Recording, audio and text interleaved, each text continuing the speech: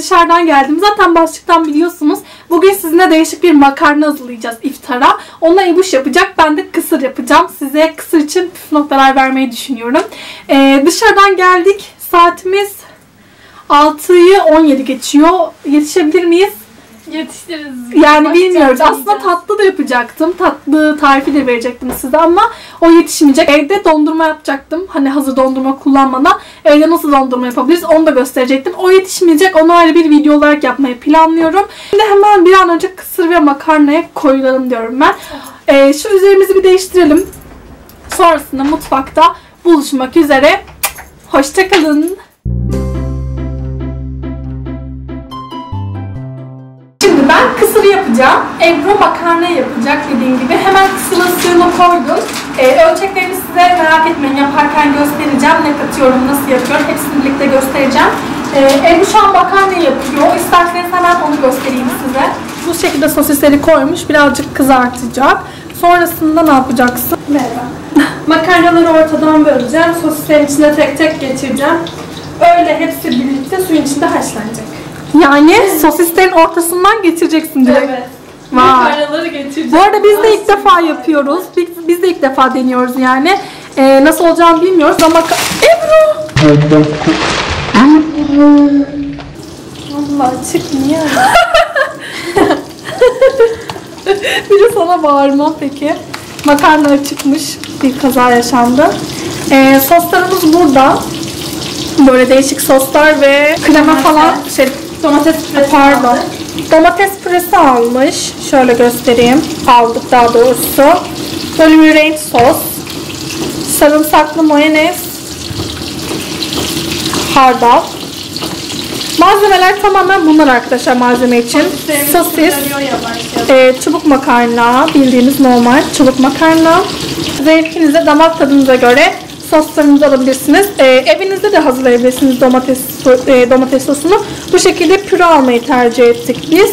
Sonrasında da e, sosislerimizi de burada kızartıyoruz. Sonra bu tencerede haşlayacak. Söylemek istedikleri. Ebru Şef. Suyumuz kaynadı. Hadi evet bakalım yetiştirebilecek mi? Aman Ebru Hanım. Aman Ebru Hanım. Ee, sizin için kayınvalideler şunu şunu söylüyor. Ne düşünüyorsunuz? Kıskanıyorlar beni. Krize girdim ya. Evet. Suyunu makarnanın suyunu koydu şimdi. Bu arada bu benim kısırımın suyu değil miydi? Hayır abla ilk ben koydum kettle'a. İyi tamam. Gelir gelmez. Aynen Ebru makarna yapıyor. Şimdi sizi bir yere yerleştirip kısır yaparken size göstereceğim. Evet ben bu bulgurun ölçüsünü tam bir ölçü vermek istemiyorum. Çünkü biz kalabalık aileyiz. Ben yani her zaman fazla yapıyorum. Ama siz e, kendi kişi sayınıza göre yaparsanız daha doğru bir sonuç elde edersiniz diye düşünüyorum. Ben şöyle göz kararı biraz daha ekleyeceğim mesela. Evet bu bizim aile için yeterli bir kıvam oluyor. Ee, biz 5 kişiyiz. Siz işte kendiniz ona göre ayarlarsınız. Bakıyorum suyu ne kadar kaldırabilirse ona göre ekleme yapıyorum.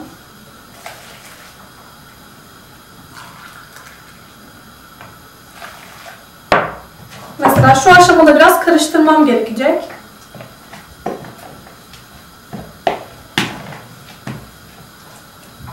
Evet mesela bu su oranı bana gayet yeterli geldi. Ee, bulgurlarımın şişebileceği kadar yeterli kıvamda. Ağzını kapalı bir kapta tutmanız önemli çünkü bulgurlarınız şişecek. Bu bir kenarda dursun bu şekilde. Şimdi ben burada yeşilliklerimi hazırlamaya koyuyorum. Böyle çok garip şeyler oldu. Fen dersi gibi. yani şu an böyle gidişat. Evet sıra geldi soğan aşamasına. Burada bulgurlarım şişerken soğanlarımı eee, dilimleyip ince, olabildiğince ince bir şekilde kavuracağım. O aşamayı da göstereyim size. Eee, biz böyle bol soğanlı seviyoruz. Normalde iki soğan yetiyordu ama soğanlar biraz küçük olduğu için 3'e çıkardım bugün. Şimdi bunları ince ince doğrayacağım.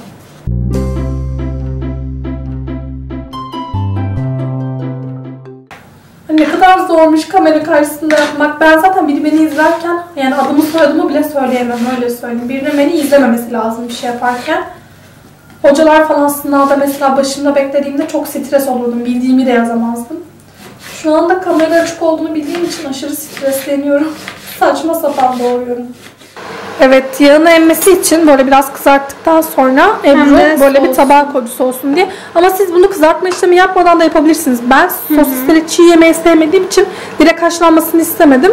Ee, o yüzden birazcık böyle kızarttık ama siz direkt yapabilirsiniz. Aklınızda bulunsun. Sebzelerimi buraya koydum. Ee, bunlar beklemede. Sirkeli suda bekliyorlar. Ebuş bunları böyle geçirmiş. Şöyle bir tanesini alıp göstereyim. Şöyle. Sonra içine atacak bunları. Devamını yapamadım arkadaşlar çünkü orucuz. Çok acıktım ve sabırsızlandım. Evet geri kalanını biraz Bunu doğramış. sos için doğru yapacağım. Sosla birlikte yapacağım. Bunu da haşlanacak normal şu şekilde. Aynen ben de soğanlarımı dilimledim bu şekilde pişmeye bıraktım. Birazcık daha pişsin. Tuzunu, baharatlarını ekleyeceğim. Hangi baharatları eklediğimde size söyleyeceğim. Çünkü orası çok önemli bir nokta benim için. Ebru bunları dizmeye başlamış Aynen. bile. Kendimi yam yam gibi hissediyorum. Çok komik. Bunlar galiba piştikçe, Aynen. haşlandıkça. yumuşadıkça Aynen. haşlanacak diye tahmin ediyorum. Hadi bakalım. Bakalım. Çok komik görünüyorlar. Aynen ama bence çok güzel olacak. Bazıları patladı bu arada. Yani sosisler dayanmadı şu şekilde. Çok mu şey yaptın? Aynen. İlk defa yaptığım için onu tahmin edemedim.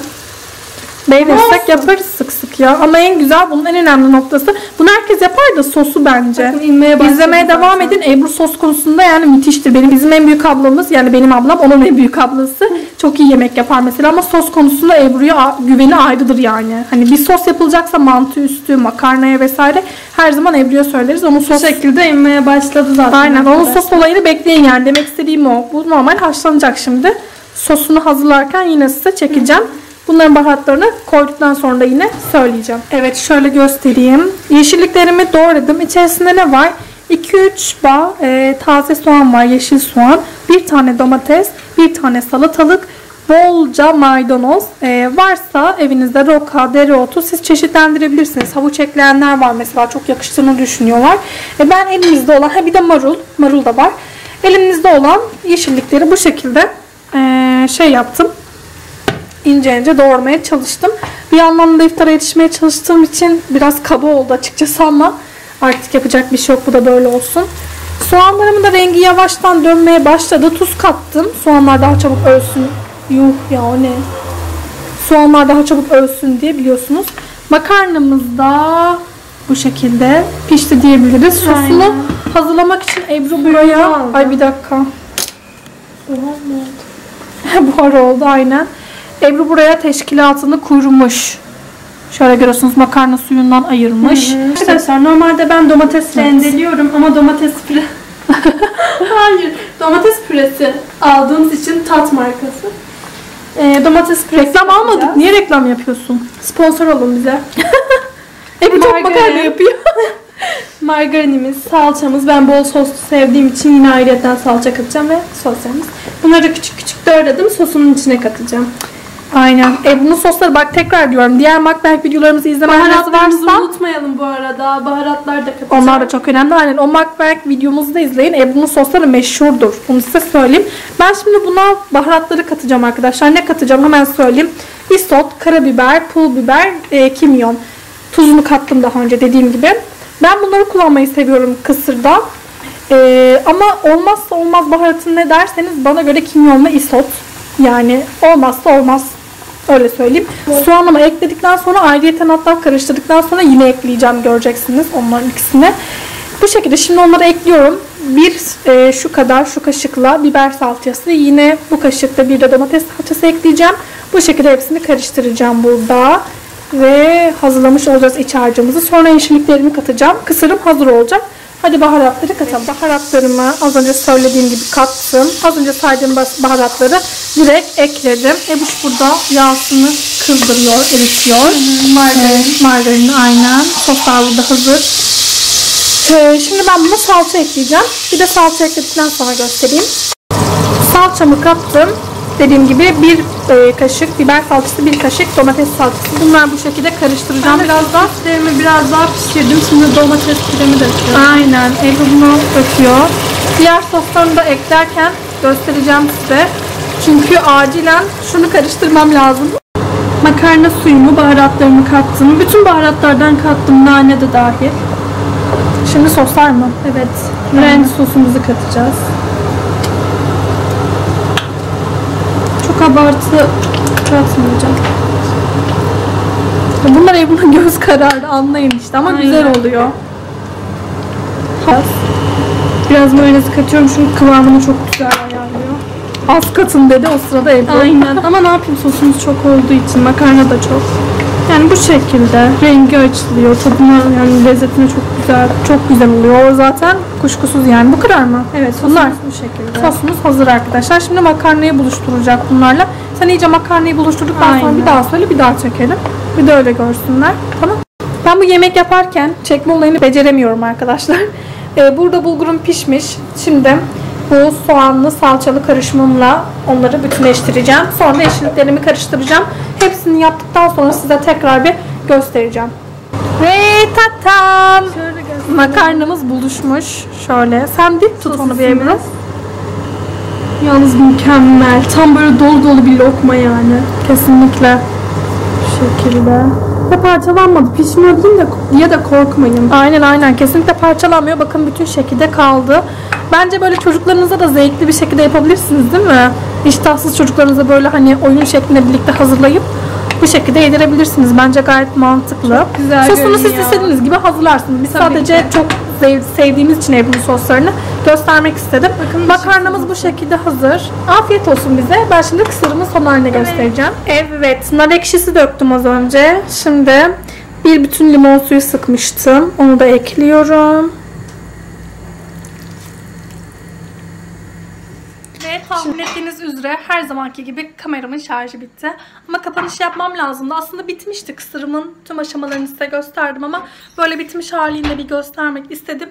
Bizim gibi kısırı kuru sevmeyip biraz daha böyle yaş cıvık, bol ekşili limonlu sevenleriniz varsa eee, bence seveceğiniz bir kısır olduğunu düşünüyorum. Makarnamızı zaten göstermiştim. Umarım bu tarifleri siz de denersiniz. Umarım denediğinizde siz de çok beğenirsiniz. Böyle bir evlerinize alternatif tarifler olmuştur diyorum ve başka videolarda görüşmek üzere. Hoşçakalın.